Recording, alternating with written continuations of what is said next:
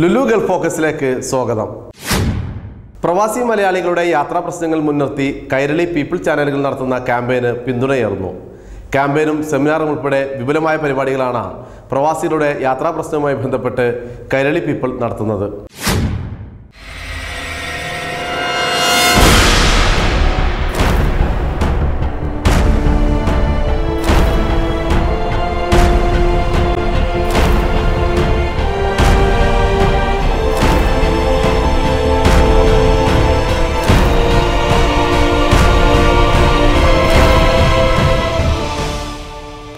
Gulf നാടുകളിലേക്കുള്ള മലയാളിയുടെ പ്രവാസത്തിന് അരനൂറ്റാണ്ടിന്റെ പഴക്കമുണ്ട്.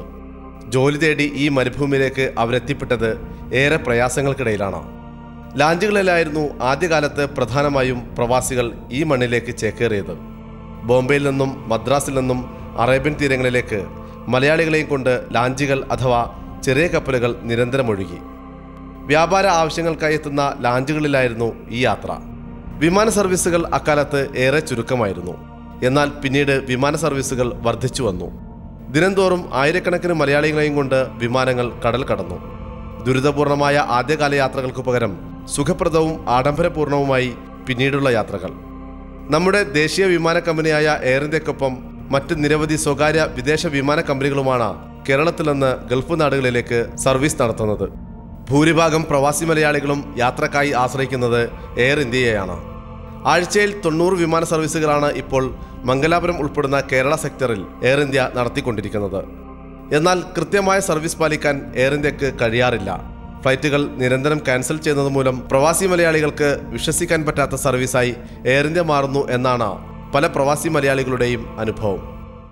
എയർ ഇന്ത്യയിൽ സങ്കല്പിക്കുമ്പോൾ തന്നെ സങ്കടം വരികയാണ്. പക്ഷേ നമ്മളുടെ രാഷ്ട്രത്തിന്റെ ഒരു എയർവേസ് അല്ലേ എന്നുള്ള ഉദ്ദേശത്തിൽ നമുക്ക് നല്ലൊരു സന്തോഷമാണ്. പക്ഷേ കുടുംബമായിട്ട് താമസിക്കുന്ന ഒരു വ്യക്തിയാണ് ഞാനൊക്കെ ഇപ്പോൾ ഇവിടെ.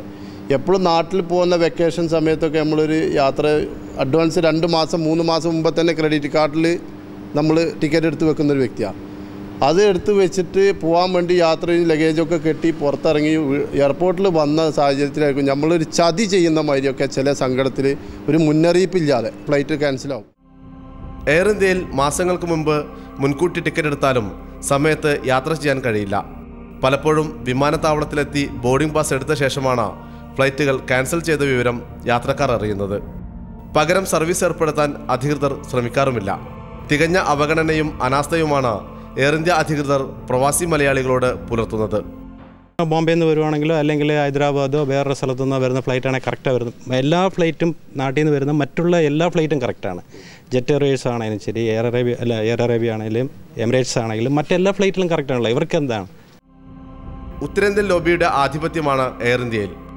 ഉത്തരേന്ത്യൻ സംസ്ഥാനങ്ങളിൽ എയർ ഇന്ത്യ സർവീസ് നടത്തുന്നത് കൃത്യമായാണ്. എന്നാൽ കേരളത്തിൽ നിന്നാകുമ്പോൾ എല്ലാം തകിടം മറിയുന്നു.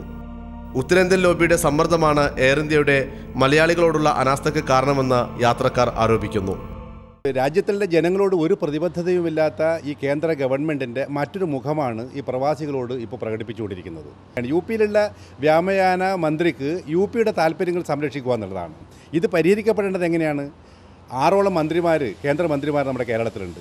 ഒട്ടനവധി എം പിമാർ നമ്മുടെ കേരളത്തിലുണ്ട്. ഇവർക്കൊന്നും തന്നെ പ്രവാസികളോട് യാതൊരു നിലയിലുള്ള പ്രതിബദ്ധതയും ഇല്ല എന്നുള്ളതാണ്. കേന്ദ്രത്തിൽ സുപ്രധാനമായ വകുപ്പുകൾ വഹിക്കുന്ന മന്ത്രിമാർ നമുക്കുണ്ട്. വ്യോമയാനം ഉൾപ്പെടെ കൈകാര്യം ചെയ്തിട്ടുള്ള വയലാർ രവിയും പ്രതിരോധ മന്ത്രി എ കെ ആന്റണിയും വരെ കേന്ദ്രത്തിലുണ്ടായിട്ടും നമ്മുടെ ഔദ്യോഗിക വിമാന കമ്പനിയായ എയർ ഇന്ത്യയുടെ മലയാളി വിരുദ്ധ നിലപാട് തിരുത്താൻ ആരും മുൻകൈ എടുക്കുന്നില്ല എന്നത് ഖേദകരം തന്നെ.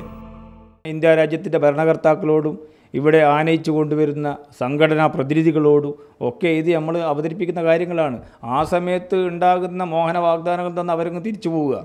ഇത് അതിലൊരു അറുതി ഇതുവരെ ഉണ്ടായിട്ടില്ല. പ്രവാസി മലയാളികളോട് ചെയ്യുന്ന കറക്റ്റായിട്ട് ചെയ്യുന്ന ചീറ്റിംഗ് തന്നെയാണ്. ആ തഴുപ്പണിക്കാരന്റെ ക- ഇത് കൈയിട്ട് വരിക എന്നുള്ള ഒറ്റ കാര്യമാണ് ചെയ്തുകൊണ്ടിരിക്കുന്നത്. നിരന്തരം സർവീസുകൾ ക്യാൻസൽ ചെയ്യുന്നതിനൊപ്പം സീസൺ സമയങ്ങളിൽ ടിക്കറ്റ് നിരക്ക് കുത്തനെ ഉയർത്തിയും എയർ ഇന്ത്യ പ്രവാസി മലയാളികളെ ദ്രോഹിക്കുന്നു. സീസൺ സമയങ്ങളിൽ സാധാരണ നിരക്കിനേക്കാൾ രണ്ടും മൂന്നും ഇരട്ടിയാണ് ടിക്കറ്റ് നിരക്ക്. ഞാൻ രണ്ട് വർഷം കൂടുമ്പോൾ നാട്ടിൽ പോവാറ്.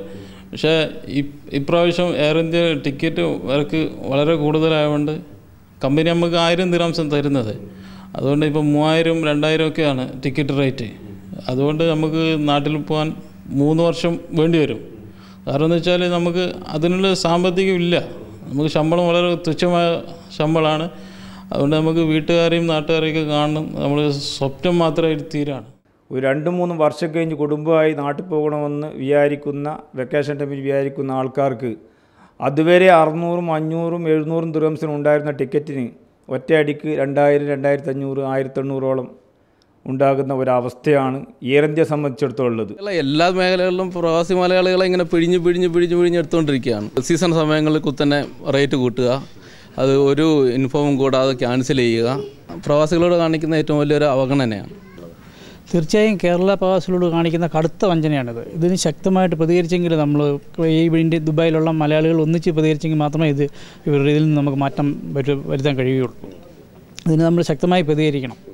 ഇവിടുത്തെ പല സംഘടനകളുണ്ട്. അതെല്ലാം കൂടെ ഒന്നിച്ചു കൂടി എല്ലാവരും ഒന്നിച്ച് ഇതിനെതിരെ ശക്തമായി പ്രതികരിക്കണം. പ്രവാസി മലയാളികളോടുള്ള എയർ ഇന്ത്യയുടെ അവഗണനക്കെതിരെ പ്രവാസി സമൂഹത്തിലും കേരളീയ സമൂഹത്തിലും വ്യാപകമായ പ്രതിഷേധം ഉയരുകയാണ്. കേരളത്തിൽ സി പി ഐ എമ്മിന്റെ നേതൃത്വത്തിൽ ബഹുജന സമരങ്ങൾക്ക് തുടക്കമിട്ടു. പ്രവാസി മലയാളികളുടെ യാത്രാ പ്രശ്നം മുൻനിർത്തി കൈരളിയും പീപ്പിളും നടത്തുന്ന പ്രവാസയാത്ര പ്രയാസയാത്ര എന്ന ക്യാമ്പയിന് വൻ പിന്തുണയാണ് പൊതുസമൂഹത്തിൽ നിന്നും ലഭിക്കുന്നത്. പ്രവാസി മലയാളികളുടെ പ്രശ്നങ്ങളിൽ നിരന്തരം ഇടപെടുകയും പരിഹാരം കണ്ടെത്തുകയും ചെയ്തിട്ടുള്ള കൈരളിയും പീപ്പിളും പ്രവാസികളുടെ യാത്രാ പ്രശ്നത്തിലും സജീവമായ ഇടപെടലാണ് നടത്തിക്കൊണ്ടിരിക്കുന്നത്. പീപ്പിൾ ടി വിയുടെ വെബ്സൈറ്റിൽ ദിനംതോറും നിരവധി സന്ദേശങ്ങളാണ് ലഭിച്ചുകൊണ്ടിരിക്കുന്നത്. ജനങ്ങളോട് നേരിട്ടും ഞങ്ങൾ സംവദിച്ചു കൊണ്ടിരിക്കുന്നു കൈരളി ടി വി ഇങ്ങനെയുള്ള ഒരു ക്യാമ്പയിൻ സംഘടിപ്പിച്ചതിൽ തന്നെ ഞാൻ താങ്ക്സ് പറയുന്നുണ്ട്. പിന്നെ എല്ലാവർക്കും ഇതൊരു ഉൾക്കൊണ്ടൊരു ബോധവൽക്കരണം ആവണം ഇതിന് വേണ്ട എല്ലാ സൗകര്യങ്ങളും ചെയ്യണം. അത് കൈരൽ ടിവിയുടെ ഭാഗത്ത് നിന്ന് എന്തൊക്കെ ഉണ്ടോ ചെയ്യാൻ പറ്റുന്നതും ഞങ്ങളുടെ ഭാഗത്ത് നിന്ന് എന്തെങ്കിലും ചെയ്യാൻ പോകുന്നുണ്ടോ അതിനൊക്കെ ഞങ്ങൾ സഹകരിക്കും. ഇത് നല്ലൊരു പരിപാടിയാണ്. കൈരൽ ടി വി ഇതിന് മുൻകൂർ ശക്തമായി മുന്നോട്ട് വന്നതിൽ ഞങ്ങൾക്ക് അതിന് അതിയായ സന്തോഷമുണ്ട്. ഈ കൈരളി ചാനൽ പോലുള്ള ഇതുപോലുള്ള സംഘടനകൾ എല്ലാം കൂടി ഒന്നിച്ച് ഇതിന് പ്രതികരിച്ചാൽ മതിയാവുള്ളൂ. കൈരളി നല്ലൊരു കാര്യം തന്നെയാണ് പ്രവാസി മലയാളികൾക്ക് വേണ്ടി ചെയ്യുന്നത്. അത് നല്ല സ്വാഗതാർഹമായ ഒരു കാര്യം തന്നെയാണ്. പിന്നെ അത് കൂട്ടി ചാനലുകളെല്ലാം മുന്നോട്ട് വരികയാണെന്നുണ്ടെങ്കിൽ ഇതിനെന്തെങ്കിലുമൊക്കെ ഒരു പ്രതിവിധി കാണാൻ സാധിക്കുമായിരിക്കും. യാത്രാ പ്രശ്നം മുൻനിർത്തി ദുബായിൽ കൈരളി പീപ്പിൾ വിപുലമായ സെമിനാറാണ് സംഘടിപ്പിക്കുന്നത്. ഒക്ടോബർ പത്തൊൻപതിന് വൈകിട്ട് അഞ്ചിന് ദുബായ് ഇന്ത്യൻ കോൺസുലേറ്റ് ഹാളിൽ വെച്ചാണ് seminar. C P I M സംസ്ഥാന സെക്രട്ടറി പിണറായി വിജയനാണ് സെമിനാർ ഉദ്ഘാടനം ചെയ്യുക. എയർ ഇന്ത്യ മുൻ director M A Yusufali Air India മുൻ ചെയർമാൻ തുളസിദാസ് എന്നിവർ സെമിനാറിൽ പ്രബന്ധങ്ങൾ അവതരിപ്പിക്കും. പ്രവാസി സമൂഹത്തിന്റെ വിവിധ തുറകളിൽപ്പെട്ടവർ സെമിനാറിൽ പങ്കാളികളാകും. സെമിനാറിൽ പങ്കെടുക്കാൻ താൽപ്പര്യമുള്ളവർ മുൻകൂട്ടി പേര് രജിസ്റ്റർ ചെയ്യണം. പൂജ്യം നാല് നാല് മൂന്ന് നാല് ഒന്ന് മൂന്ന് നാല് എട്ട് എന്ന നമ്പറിൽ വിളിച്ചാണ് പേര് രജിസ്റ്റർ ചെയ്യേണ്ടത്. പ്രവാസി മലയാളികളുടെ ദുരിതപൂർണമായ യാത്രാ പ്രശ്നങ്ങൾ സെമിനാറിൽ സജീവ ചർച്ചയാകും.